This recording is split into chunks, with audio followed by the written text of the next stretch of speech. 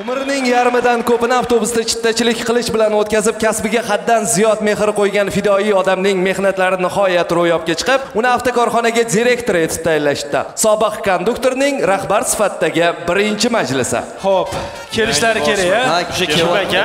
Kim Hop, o'sha direktor? assalomu alaykum Assalomu alaykum. hurmatli odamlar demak majlisimizdan boshlaymiz. Tushunmadim ne salon o'rta bo'mbo'sh. Salon tiqilishlari qancha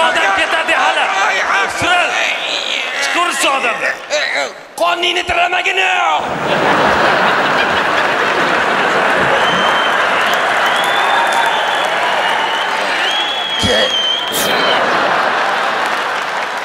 Uzun mücayim yaşararken.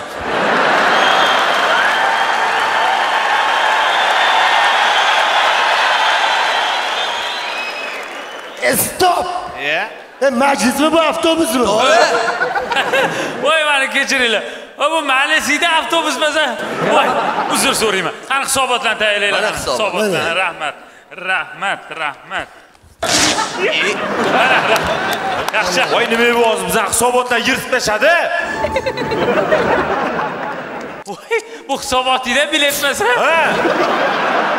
voy mani kechiringlar. E man qara bu qaysi oyiki Sentyabrniki. hozir oktyabru sentyabrga o'tmaydi toshlaryapti avtobuslar